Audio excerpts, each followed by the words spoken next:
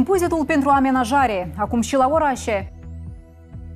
Sezonul descăldat în Nistrenia a luat start.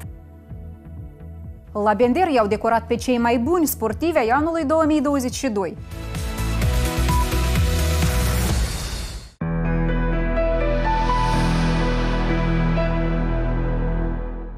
Bine v-am găsit la știrile în limba moldovenească. Noi continuăm să vă informăm despre principalele evenimente din Republică. Cum a fost această zi și prin ce se va memoriza ea, despre aceasta povestim chiar acum.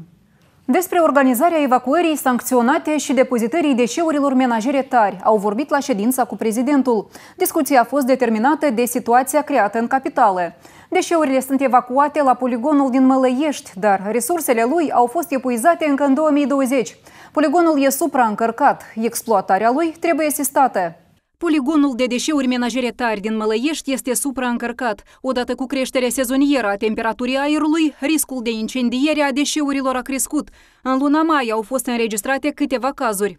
Полигон должен был быть закрыт еще в 2020 году. Poligonul de deșeuri trebuia să fie închis încă în 2020. Cu toate acestea, datorită liniei de sortare și măsurilor de recuperare pe care le desfășurăm în mod constant, am reușit să-i prelungim termenul de funcționare până în prezent. Prima hartă a fost complet recuperată după incendiul din 2017. Atunci nivelul gunoiului era la 3 metri mai jos de orizont și era greu de stins focul. Acum nivelul e de 2-4 metri deasupra orizontului, ceea ce reprezintă o problemă mare pentru pentru Mălăiești. Astăzi a apărut întrebarea de a construi un poligon nou pentru deșeuri menajere și el trebuie să fie departe de sectorul locativ, iar poligonul care se află lângă satul Mălăiești și activează până în prezent trebuie să fie închis. Prezidentul a întrebat despre opțiunile făcute pentru amplasarea noului poligon de deșeuri. O variantă optimă e de a folosi cariere uzate pentru obiect. La un kilometru și jumătate de poligonul din Mălăiești există mai multe variante potrivite.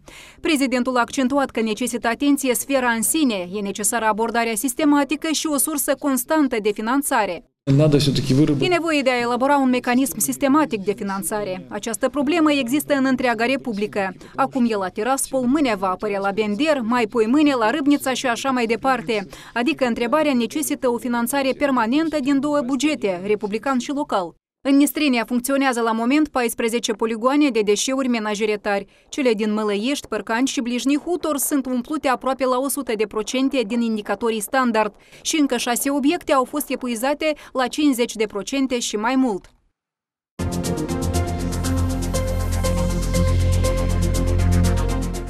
Impozitul pentru amenajare. Pentru ce a fost el introdus în orașe și încotro vor merge banii? Există deja experiența rurală. Acolo această taxă e plătită deja de 10 ani. La Parcani, spre exemplu, din contul impozitului au adus în ordine parcul și nu numai. În anul 2020, practic, în acest loc erau gunoi ștenii autorizate și mulți ani se acumula aici mult gunoi. Acum, în locul fostei gunoi, știe un parc. Parcani, strada Lenin, una din cele centrale în sat. Aici este și teren pentru copii, cărări, bănci, minicâmp de fotbal. Totul a apărut în anul trecut. La fel, aici sunt instalate camere video și a apărut canalizare la policlinică. A ajutat taxa pentru amenajare. Acest drum, strada Lenin, duce spre policlinică, adică pe aici trece toată populația noastră, mamele cu cărucioare, oamenii în etate. La fel la Parcan, din contul taxei pentru amenajare, întrețin cimitirul, evacuează gunoiul, cosesc iarba. Au reparat și memorialul local. Începând cu anul curent, impozitul pentru amenajare îl vor plăti și la orașe. Grigoriopol, în plan sunt bănci și coșuri pentru gunoi lângă terenul de sport, e centrul orașului. În ce privește satele, apoi ele au planurile sale. În Krasnogorca, spre exemplu, vor face un hangar pentru comerț. Taxa pentru amenajare în raion trebuie plătită până la 1 iunie.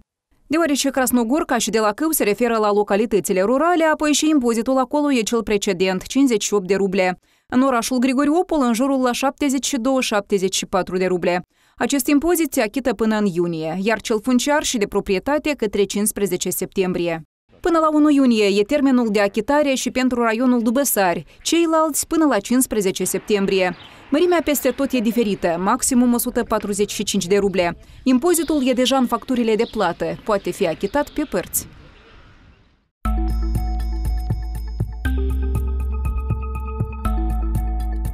Pe video, încă un curier reținut lua bani de la victimele escrocilor de telefon. În același timp, știa despre schemele criminale. Recent, escrocii i-au telefonat chiar și bunicăi curierului. Звонили, сказали мать, что...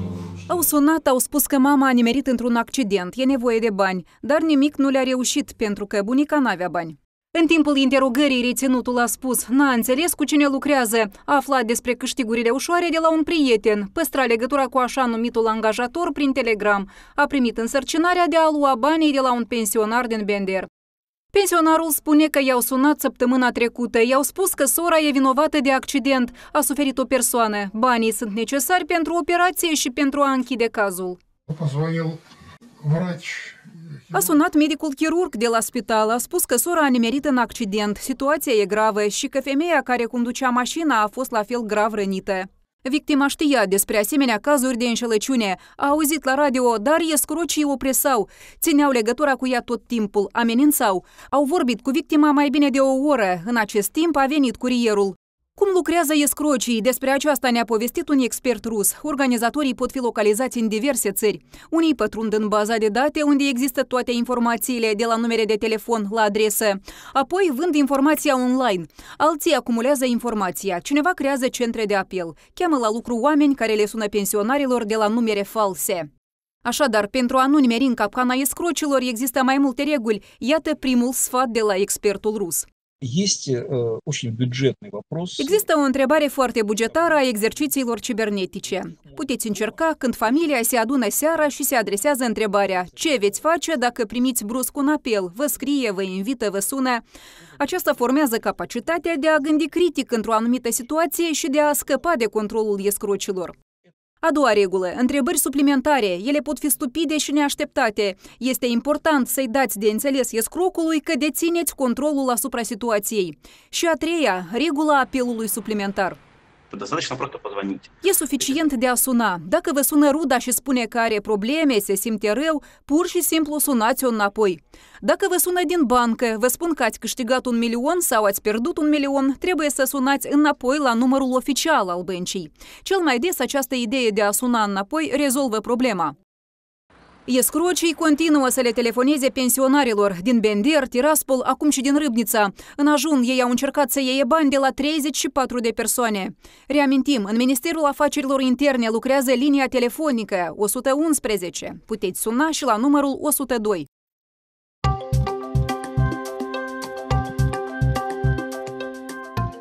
Poșta Nistreniei dezvoltă serviciile online. Acum coletul poate fi luat după codul de bare. El se scanează, apoi se eliberează scrisoarea beneficiarului. Despre perfectarea în formă scrisă a formularului puteți deja uita. La comandarea mărfiei e important a indica numărul nistrean de telefon mobil. La numărul dumneavoastră va veni notificarea SMS. În așa mod, clienții vor ști că coletul lor e gata pentru livrare. Perioada de emitere 5 zile. Dacă destinatarul n-a venit după el, atunci în cutia poștală va fi trimisă o notificare pe hârtie. Termenul de păstrare e precedentul, o lună.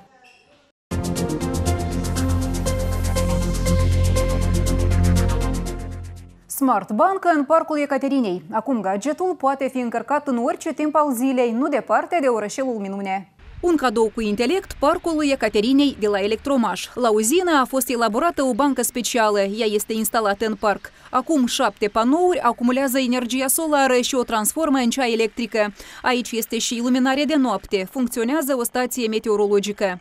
На самом табло выводится Pe tablă apar informații despre temperatura aerului în grade Celsius, presiunea atmosferică. La fel e instalat indicatorul umidității. Cred că acest loc va fi introdus în unul din punctele itinerarului turistic.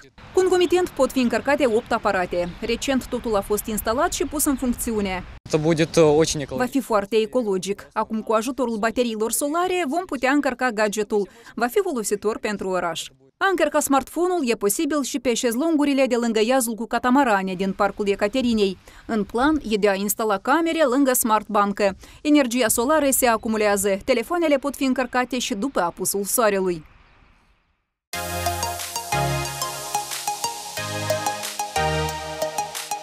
Sezonul de descăldat în Nistrenia a luat start. Pe plajă totul e gata. Salvatorii deja au început a face serviciul și ne reamintesc regulile de securitate pe apă. Se poate descălda, apa e caldă. Eu mă scald deja de două săptămâni, așa că fără probleme.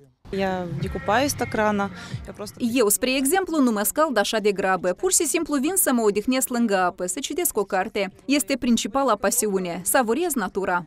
Вода отличная, градусов 18. Apa e minunată, are vreo 18 grade. Îndată cum voi avea ocazia, voi merge la plajă. Scafandrierii au controlat fundul râului, au instalat balizele, salvatorii sunt gata de serviciu. Мы tщательно готовились э, к купальному сезону. Destul de minuțios ne-am pregătit de sezon, totul e gata. Avem colaci de salvare, barcă cu motor. Dacă sinistratul se află de la noi la o distanță de 20-25 de metri, aruncăm colacul și tragem persoana. Pe malul Nistrului există multe plaje nesancționate, unde nu sunt balize și niciun salvator. Salvatorii ne reamintesc, Nistrul e un râu adânc și cu o scurgere rapidă, de aceea scăldați-vă acolo unde nu-i periculos. Мы naходимся не только на посту. Ne aflăm nu numai la post. Regulat patrulăm întreg teritoriul plajei. Avem patru colaci de salvare ce se află la 15 metri unul de altul. Dacă e nevoie, îi folosim. Acest lucru permite la timp să fie acordat ajutor sinistratului. Nu notați după balize, nu lăsați copiii fără supraveghere și niciun fel de alcool. Dacă mergeți la plajă, țineți minte regulile de securitate. Aceasta vă poate salva viața.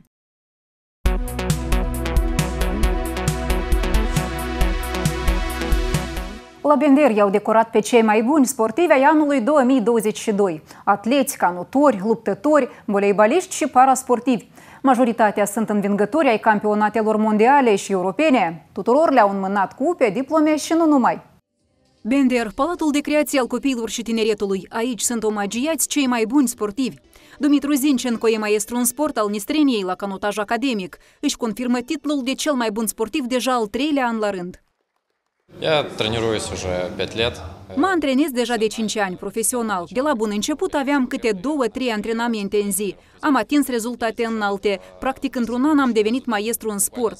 În anul trecut, împreună cu colegul meu, am devenit prizeri de bronz la campionatul Europei în Belgia. Până atunci am fost la campionatul mondial în Italia. Acolo am fost ai cincilea. Iuliana Dabija are deja 20 de ani. 10 ani se ocupă de atletica ușoară. В прошлом году я выполнила мастера спорта на международных. În anul trecut am îndeplinit normativul de maestru în sport la mondial. Am fost a șaptea printre fete. Am demonstrat cel mai bun rezultat al meu în decursul carierei. Am fost campioană la competițiile țărilor balcanice, campionatul Moldovei, Nistreniei, festivaluri olimpice. La fel am devenit prizier. Antrenorilor care educă campioni le-au fost înmânate scrisori de recunoștință. Olga Stratienko, de 40 de ani, conduce discipolii spre biruință. E antrenor emerit la atletica ușoară. Я считаю, что я имею какой-то от Бога Consider că am noroc de copii talentați. Împreună cu ei mă pot realiza ca personalitate, ca antrenor, le transmit cunoștințele mele. Aceasta mi oferă motivare pentru a lucra în continuare. Cele mai bune echipe ale anului 2022 au devenit cea a școlii sportive pentru copii și tineret a rezervei olimpice numărul 2 și echipa de turiști parasportivi.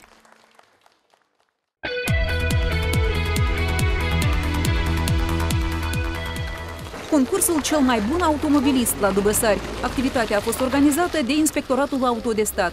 Participanții, în primul rând, urmau să susțină teoria, adică să răspundă la un șir de întrebări ce țin de regulile rutiere. Svetlana Sviderski a primit permisul încă 10 ani în urmă, dar la volan se află doar 3 ani. Întrebările nu i-au creat nicio problemă, a comis doar o singură greșeală. Practica a cerut o atenție maximă. Самый сложный этап – это сдавать задним ходом. Etapa cea mai complicată a fost mișcarea return. În general, complexul de elemente l-am trecut bine. Consider că asemenea activități sunt necesare. În primul rând, îți verifici cunoașterea regulilor de circulație rutieră, manevrarea. Drept urmare, devii mai atent în drum. Concursul a conținut trei nominalizări, cel mai bun automobilist, motociclist și autolady. Oleg Pascari a venit cu feciorul Artiom. Împreună cu motocicleta au parcurs traseul. Вышли попробовать. Am venit să ne încercăm forțele. Mi-am procurat motocicleta pentru suflet. Îmi place să circul cu ea, îndeosebi undeva după oraș, în câmp. Îl iau cu mine și pe fiu, mai puțin să se afle la computer. Cei mai buni automobiliști au fost desemnați cu diplome de onoare și cadouri. Mai multe despre aceste și alte știri aflați în ediția de seară CăB și pe rețelele noastre sociale. Iar noi vă dorim cele bune în continuare tuturor și doar noutăți plăcute. La revedere!